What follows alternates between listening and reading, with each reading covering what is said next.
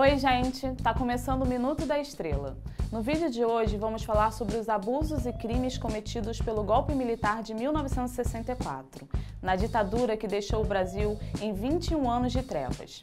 Deixe seu like, se inscreva no canal e ative o sininho para receber as notificações do PT no YouTube.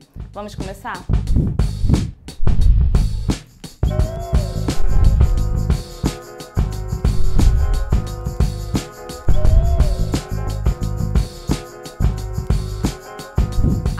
Militar que dominou o Brasil de 1964 até 1985 foi mostrada inicialmente para o povo brasileiro como a salvação do país, a única saída possível para um golpe comunista fictício inventado apenas para justificar a repressão trazida pelos militares.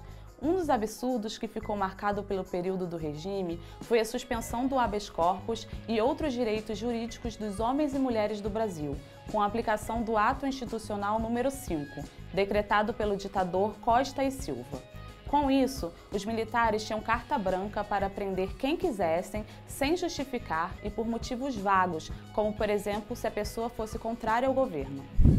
Em uma entrevista na década de 90, Jair Bolsonaro afirmou que fecharia o Congresso se fosse presidente da República. Se você fosse hoje o presidente da República, você fecharia o Congresso Nacional? Não há a menor dúvida, daria golpe no, no, no mesmo dia. No mesmo dia. Não funciona! Pois saiba que foi exatamente isso que aconteceu durante o golpe militar. O AI-5 também foi o ato que provocou o fechamento do Congresso Nacional. Simbolicamente, isso foi um golpe certeiro no coração da democracia. Os representantes do povo foram silenciados e o governo tinha plenos poderes para fazer o que bem entendesse. Em um governo ditatorial, a verdade é a sua maior inimiga.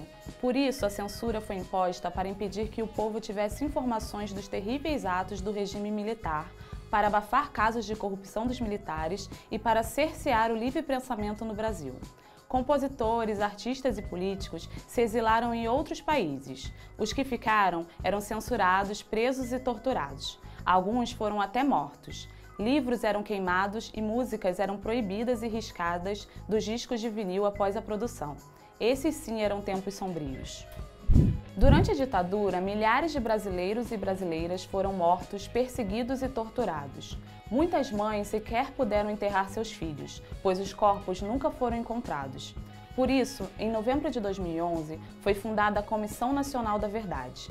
O trabalho da comissão era investigar e denunciar os crimes contra os direitos humanos cometidos pelo regime militar, foram ouvidas testemunhas e vítimas da ditadura.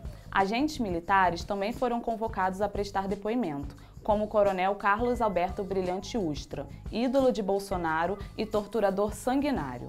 Ao receber o relatório final da Comissão da Verdade, a presidenta Dilma Rousseff discursou sobre a importância do Brasil conhecer a sua verdadeira história. O Brasil merecia a verdade que as novas gerações mereciam a verdade e, sobretudo, mereciam a verdade aqueles que perderam familiares, parentes, amigos, companheiros e que continuam sofrendo